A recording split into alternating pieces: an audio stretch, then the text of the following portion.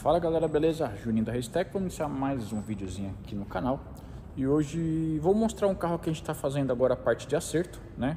Foi montado um kit turbo nesse carro E vamos falar um pouquinho sobre essa Saveiro, que é lá do Rio de Janeiro Veio pra gente aqui para fazer a instalação no kit turbo Meu, o carrinho tá ficando bem bacana Tô agora é, na fase do acerto E esse é aquele típico carro rua, né?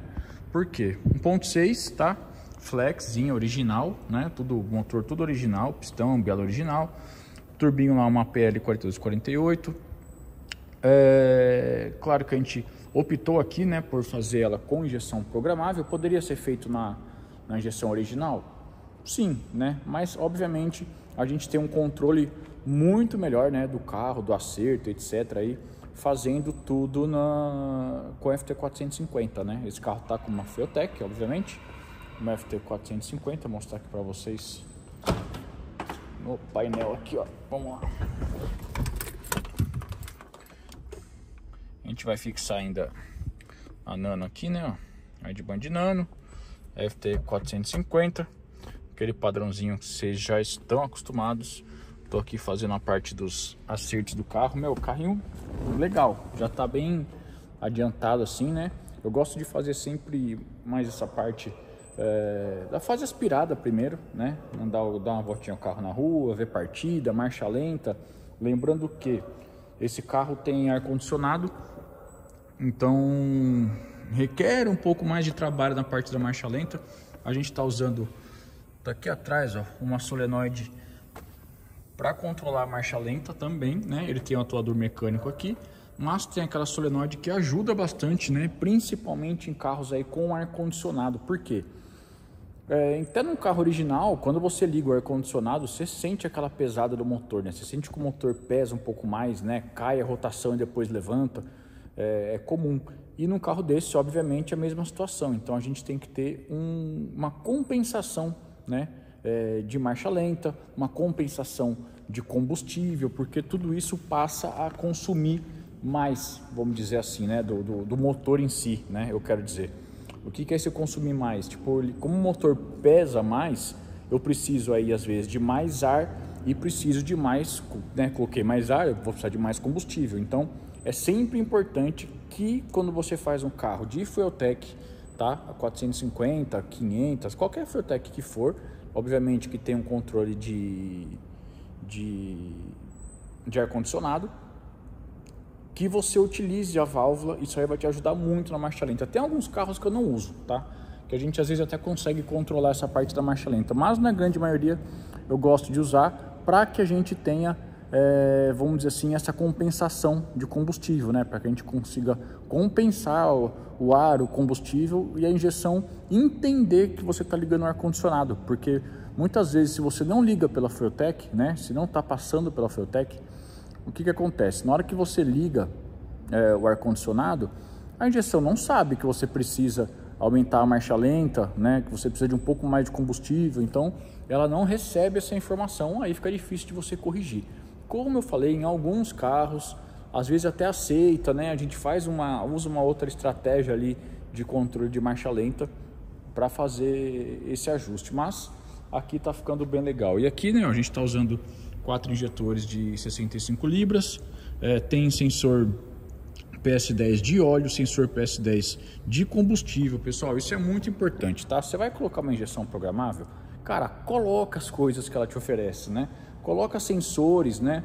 Os sensores, ele obviamente são muito importantes aí para que você monitore, para que você tenha uma segurança ali nos alertas. Então, é sim indispensável, no meu ponto de vista, que você tenha é, pressão de combustível, pressão de óleo e, obviamente, a sonda lambda. Né? Esses três sensores externos, vamos dizer, é obrigatório, se no meu ponto de vista, tem que ter para que o seu carro é, funcione legal. Né?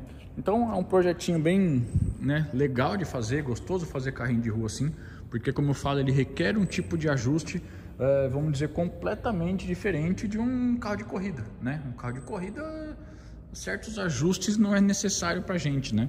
Mas nesse caso aqui, é, fica bem legal de ser feito. Então a gente está numa onda aí, finalizando alguns carros de rua. Outro que em breve vocês vão ver é, a gente fazendo parte de acerto, dinamômetro, etc. É o golzão do Alessandro aqui, ó. Cara, esse carro muito legal. Esse carro a gente fez inteiro. Tudo prontinho. Tudo funcionando. Também é um carro que logo, logo vamos para a parte de acerto. Ó, golzão Edgar também aqui tá quase lá. Falta só finalizar a parte de freio para que a gente possa é, iniciar a parte elétrica, né? Ou vou fazer pressurização primeiro, vamos definir essa parte. O gol do Coelho aqui também, ó. O Ale já finalizou praticamente tudo da parte elétrica aqui. Esse carro, cara, bem legal. Tá meio escuro aqui, mas fica até mais bonito, né? Esse carro também tá ficando bem bacana. Próximo passo aqui, vamos dar partida nele, né? Logo. Essa semana aqui, se Deus quiser, tá funcionando. E aí vai para fazer parte de intercooler que tem que fazer, escapamento, né? Vamos fazer toda essa parte externa, assim, vamos dizer. Então, bastante carrinho de rua é, saindo e cada um, claro, né, como sempre falo, tem o seu propósito, né?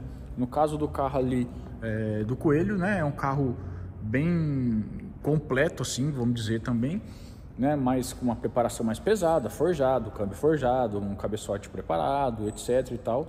Porém, mesma situação. É, o carro tem ar condicionado, é, direção hidráulica, né? É um carro é, de rua, né? Bem rua mesmo, mas um pouco mais apimentado, assim, vamos dizer, né? Que tem uma preparação maior. E também mesma situação de um carro desse, né? Na hora de fazer acerto, requer aí que a gente tenha, é, mesmo ali quanto aqui, que tem uma preparação mais pesada, a mesma parte, né? De, de, de cuidados, de marcha lenta, cara, é, é a parte crucial do projeto quando você vai fazer uma calibração, é essa, tá? Por quê? O que, que o cliente quer? Ele quer um carro, obviamente, que não seja um absurdo de gastão, né? De que consuma muito combustível. Ele quer um carro que tenha uma boa dirigibilidade. O que, que é uma boa dirigibilidade? Pô, marcha lenta boa, né? Suave. Que o carro de baixa seja é, suave, não seja aquele carro agressivo de andar, que você dá um toque, o carro dá tranco, não, que o carro ande lisinho. Então, essa parte de calibração no carro de rua, ela tem muita importância. A gente tem, obviamente, aí os cursos que você pode aprender muito sobre isso, tá? principalmente o curso nível 1 de calibração, a gente ensina muito sobre essa parte de marcha lenta, é, correções, etc. Então, tem que ser feito da maneira correta. Então, com certeza vocês vão acompanhar esse carro aqui no dinamômetro em breve, né? Creio eu que amanhã estou indo para o dinamômetro com ela, né? Para fazer a parte de acerto aqui, vamos dizer assim, a parte final. Já está bem legalzinha de andar na rua.